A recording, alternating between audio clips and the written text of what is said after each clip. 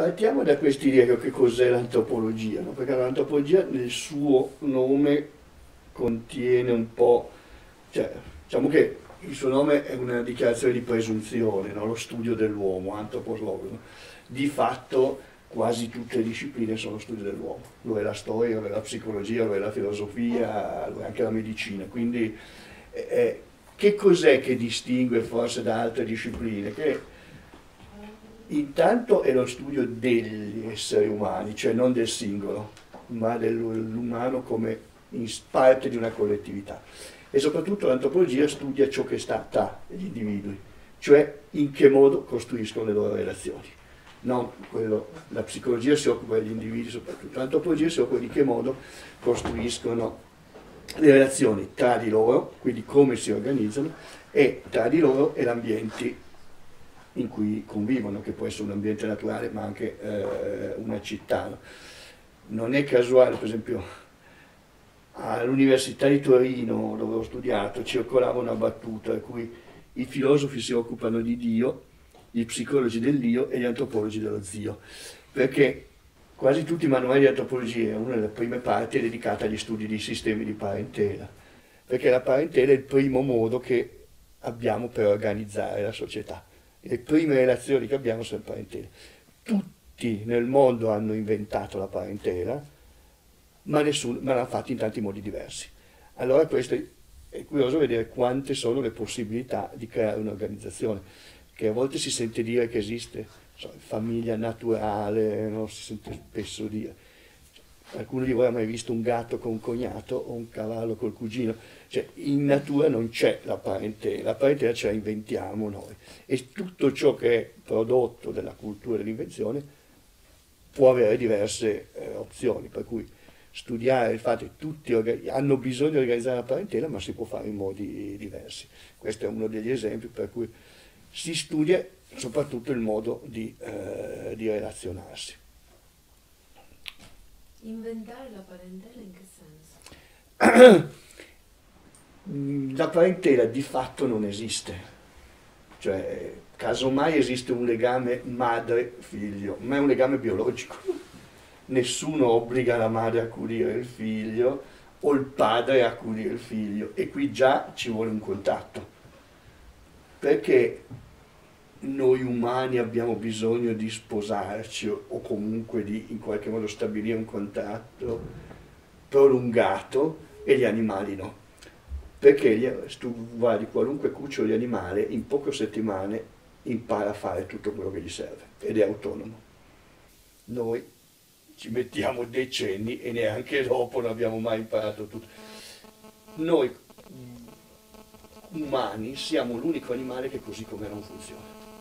Se voi ci fate caso, qualunque specie animale nasce dotata di tutto ciò che gli serve per sopravvivere. Cioè se nasco al polo avrò la pelliccia, se nasco dromedario avrò una gobba per...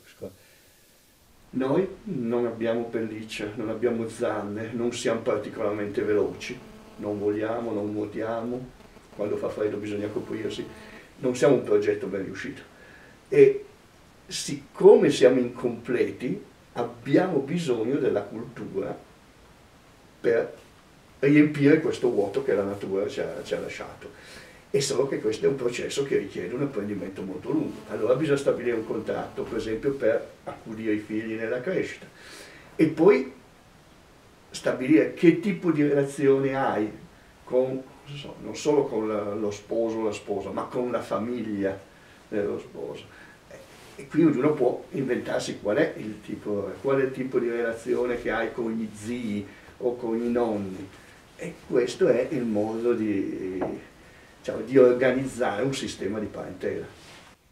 Non so se è stato chiaro. Sì, sì, C'è qualche altra... Forse dal, vediamo che tutti questi animali hanno tutto ciò che gli serve per sopravvivere. Sorge la domanda spontanea se l'uomo sia nato per qualcosa di più che semplicemente sopravvivere. Ma eh, questo non lo so, adesso qui no, vediamo sul piano religioso. Ma... Di certo è che diciamo, l'uomo, eh, allora sono state tentate tante definizioni per distinguere l'uomo dagli altri animali. rimaniamo una delle specie animali, ecco. Tanto per farvi l'idea, dal punto di vista genetico la differenza tra il complesso genomico umano e quello dello scimpanzé è 0,6%. A me piace pensare anche che sia a favore dello scimpanzé, comunque, eh, quindi di fatto siamo scimmie. Eh, ecco. La, il paradosso, se vuoi, è che proprio l'incompletezza della specie umana è stata la sua fortuna, perché la specializzazione, quella che hanno tutti gli animali, è un vantaggio, ma è anche un limite, perché l'orso polare non può andare a vivere all'equatore e il dromedario, eh, se viene già a Bolzano, oggi si gela l'acqua nella gobba. E quindi c'è un limite, mentre invece noi siamo l'unica specie che può vivere dall'equatore ai poli in altipiani di 4.000 metri, perché, perché c'è quella parte non specializzata che possiamo riempire con delle strategie di sopravvivenza, che è quella che chiamiamo cultura. Cultura che va letta nel senso antropologico, non in quello storico, cioè quello, l'accezione storica di cultura è sinonimo di erudizione. No? Eh, cultura è una cosa che tu apprendi nei libri. Letta così è un qualcosa di pochi, di quelli che hanno studiato. Ecco, si dice Umberto Eco è un uomo di cultura, era un uomo di cultura, siamo d'accordo, ha letto tanto, però era lui. Non... Invece in senso socio-antropologico, cultura è quell'insieme di strategie che ogni società umana ha messo in atto per sopravvivere. E si può sopravvivere al circolo polare artico come si può sopravvivere nel Sahara, eppure sono della stessa specie eh, quelli umani. Quindi eh, in questo senso c'è. Alla tua domanda si può esporre una cosa, che una delle differenze, quelle definizioni, una delle poche che reggono, eh, l'uomo ha rispetto agli altri animali una percezione di sé, soprattutto del fatto che deve morire. Cioè noi sappiamo che dobbiamo finire, gli animali no. Non, lo percepiscono quando probabilmente stanno male, ma non hanno la coscienza della morte. Infatti è una delle poche definizioni che reggono in pieno uh, nella differenza con gli animali. Tutte le altre sono un po' come una coperta corta, reggono un po' ma non del tutto. Ci sono due definizioni sull'uomo che mi girano sempre in testa, una che siamo un animale sociale, sì. ma un'altra che siamo un animale asociale e socializzato. Questa seconda eh, potrebbe spiegarla meglio. Sì. Ma allora, questo è un dibattito che è stato molto acceso, soprattutto negli anni 20-30 del Novecento, no? eh, anzi in particolare è stato un sociologo, filosofo francese, Durkheim, eh, che si è posto la domanda, cioè la società è, è precedente all'uomo o è l'uomo che crea la società?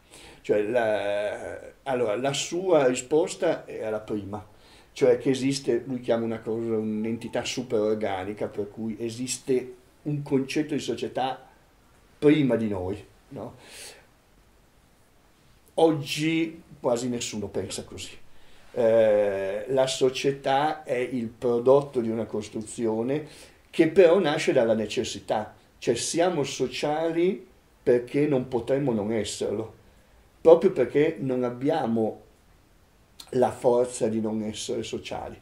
Cioè siamo, mh, come dicevo, un progetto un po' incompleto, deboluccio rispetto agli altri animali. L'unico modo per reagire a tutte queste difficoltà, complessità, rispondere a tutti i problemi che, che la vita, l'esistenza ci impone, eh, è quella di creare un insieme. Quindi diciamo che siamo un animale sociale, ma eh, se vuoi socializzato per necessità. Mm, non potremmo vivere da soli, a parte il discorso della riproduzione, ma la riproduzione non è socialità, basta pochissimo per riprodursi, poi è il dopo che deve essere. Però eh, ecco, abbiamo necessità di socializzare proprio perché eh, non abbiamo questa specializzazione. Questa. Quindi di fatto è vero, se vuoi, siamo un animale socializzato, socializzato però per, per sopravvivere. C'è qualche altra curiosità su questo tema? Eh, appunto, sempre su questo tema uh, della socializzazione tra gli uomini, che abbiamo detto che lo fanno per necessità, uh, si relazionano tra di loro per necessità, ma il modo in cui lo fanno, il modo in cui si relazionano e poi si mh, mm, distribuiscono in, in gruppi, come, cioè, da cosa è caratterizzato, cioè da cosa dipende? Allora, partiamo dalle origini, perché tutto nasce lì. Diciamo, partiamo dall'origine dell'Homo sapiens, non stiamo a fare tutta la storia. No? Eh,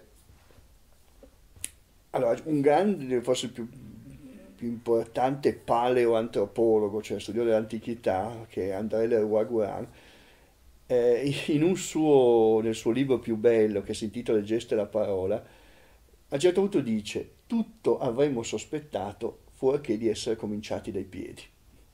E poco dopo dice la storia dell'umanità è fatta con i piedi, perché eh, se non avessimo piedi, e questo è un discorso che è molto importante oggi che c'è, sentiamo spesso una retorica delle radici. No? Se avete caso oggi si parla tanto delle radici culturali. Guardate al fondo delle vostre zampe avete piedi. Se non avessimo piedi oggi saremmo tutti in una torrida depressione dell'Etiopia dove è nata la nostra specie dell'Homo sapiens. Mentre invece a partire da circa 700.000 anni fa, di lì ci siamo sparpagliati. Allora immaginati che questi primi gruppi di africani che si spostano, via via trovano degli ambienti diversi, condizioni diverse, clima, eh, paesaggi, animali diversi e in qualche modo cosa fanno? Rispondono a queste nuove cose. Poi un altro gruppo si sposta e trova altre condizioni e deve inventarsi. Qui comincia a nascere la differenziazione, no? perché, perché le condizioni ti chiedono di inventarti qualcosa. Poi, col passare del tempo, diciamo che queste unità finiscono anche per autorappresentarsi, no? per cui ci si comincia a dare dei codici comuni, le lingue, dei modi di fare, modi di pensare.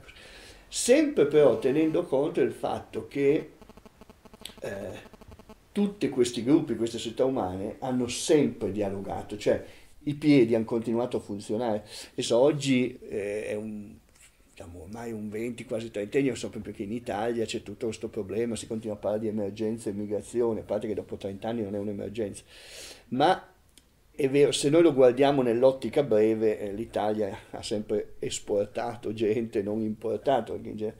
Se noi lo guardiamo con un'ottica più lunga, è sempre successo, nessuno è mai stato fermo al proprio posto.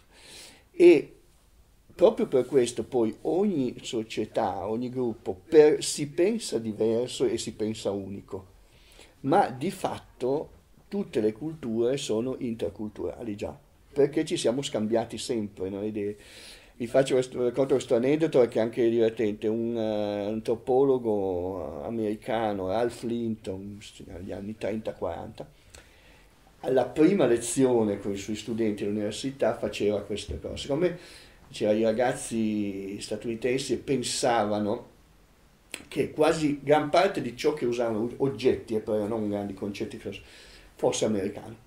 Allora lui il primo giorno chiedeva ai suoi studenti quanto di ciò che usate quotidianamente è americano. Diciamo si andava dal 75% in su, no? Allora lui faceva esempio, tu stamattina, quando ti sei alzata, cos'è la prima cosa che hai fatto? Avrai sollevato, io adesso ve la faccio breve, poi se volete vi do l'indicazione, avrai sollevato un lenzuolo di cotone, fibra tessuta in India del VI secolo a.C., poi ti sei alzata e sei privata del paio di ciabatte inventato dagli indiani algonchini, sei andato in bagno e ti sei lavato lo sapone inventato nell'antica Gallia, se fossi stato un maschietto facevi anche quella rito masochistico che è la rasatura che è nata dalle popolazioni slave. Poi vai a fare colazione con una scodella di ceramica, processo inventato in Cina. prendi del tè che arriva dall'India o magari del caffè che arriva dall'Abissinia o magari mangi del cioccolato che arriva dal Mesoamerica poi esci e vai a comprare un giornale con una moneta, invenzione dell'antica Lidia, compri un giornale stampato su carta, processo inventato in Cina, stampato con caratteri mobili, inventato in Germania nel 1500, e a seconda delle notizie ringrazi o maledici una divinità ebraica di averti fatto il 100% americano. Ecco, questo è, molto più lungo perché non ho neanche l'infintesa parte dell'erudizione di di Linton, ma se vi interessa cercate il 7% American, lo trovate in rete per intero questo ed è un modo molto semplice ed efficace per far capire come persino negli oggetti eh, che usiamo cosa siamo il prodotto di un, uno scambio millenario. Eh, infatti ieri ho parlato un po' anche di cibo, anche la musica, cioè, eh, cibo e musica sono ottime metafore della cultura perché eh, funzionano benissimo eh, anche se poi ognuno ripensa alle cose, pensate quali sono i due piatti che fanno l'identità italiana, no? la pizza e gli spaghetti. La pizza è araba, gli spaghetti cinesi, su tutti e due mettiamo il pomodoro che viene dall'America. No, eh, eh, però eh, tendiamo a pensare, quando uno pensa al tè pensa agli inglesi, no? Eh, non è che proprio l'Inghilterra sia piena di piantagioni di tè, cioè, però ecco, alla fine noi associamo il tè agli inglesi, il caffè è italiano, però non è che questo è il caffè. Quindi è, è tutto un prodotto, di, e anche è stato calcolato che un parlante italiano pronuncia circa il 6-7% di parole di origine arabe tutti i giorni, di cui il 90% proprio non sappiamo quali sono, qualcuna si può intuire, altre no per cui, e, e, vale per gli altri, non è che vale solo, solo per noi. Quindi c'è sempre stato un processo di, di, circolazione. E poi però ogni comunità si rappresenta come unica, no? allora quando si vuole difendere, sì. di fatto, mm, se avete pensate, senza la scoperta dell'America mangeremmo da schifo perché gran parte delle cose che oggi utilizziamo nella dieta mediterranea c'è la patata e il pomodoro che vengono dalle Americhe, che, cioè, quindi c'è, eh, c'è, sempre un po' una narrazione di questo. Però diciamo da una parte questa adattabilità e questa continua mutare diciamo, le nostre strutture sociali e la nostra cultura ci ha permesso di sopravvivere, però diciamo noi vediamo una tendenza a voler irrigidire il più possibile le nostre strutture sociali. Sì, perché appunto diciamo, noi siamo, ti ricordo che forse ecco una delle lezioni che dà eh, l'antropologia, cioè quando un antropologo fa ricerca sul campo, la fa, diciamo che la definizione migliore è che tormenta gente intelligente con domande stupide, cioè tu chiedi alla gente, eh, ecco immaginate che viene un antropologo qui da voi e vi fa domande su come fate, con, con chi ti sposi, come chiami il padre di tua madre, cioè cose che sono... Eh, Ovviamente voi, che non siete bugiardi, cioè date delle risposte, ma quelle risposte non sono la realtà oggettiva, sono l'interpretazione che voi fate, no? che tutti noi facciamo. E l'antropologo poi interpreta le interpretazioni, quindi di fatto cioè, è difficile eh, eh, a volte distinguere perché esistono eh, infatti in antropologia si dice che ci sono due punti di vista etico e emico. C'è un punto di vista, potremmo dire, oggettivo, no? Eh, però poi la, il modo in cui noi percepiamo la realtà a volte non coincide.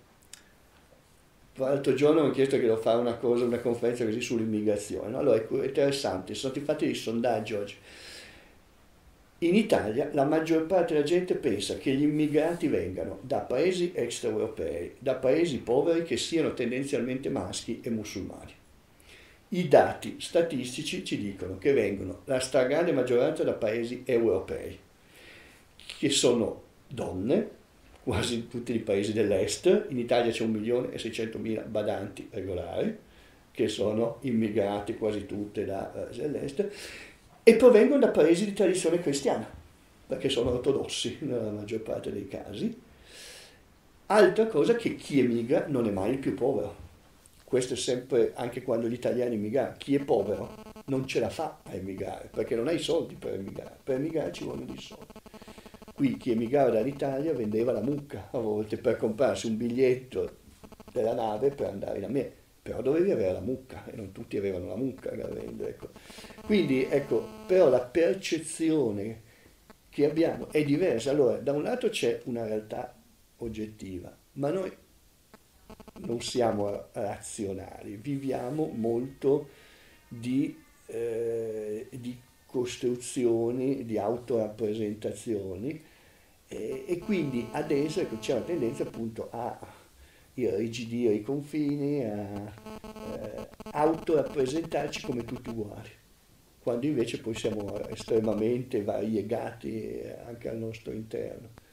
E, e questo, sì, è un, questo, è un, momento anche di particolare eh, irrigidimento e siamo fortemente condizionati dalla,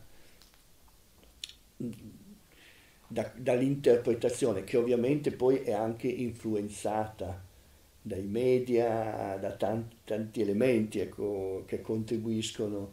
Eh, tutte le statistiche ci dicono che i reati nelle città sono in diminuzione, ma la maggior parte degli italiani percepisce le città come più pericolose eh, di prima. Eh, a volte lo sentite anche su cose banali, quando c'è so, temperatura 30 gradi registrata, percepita 32.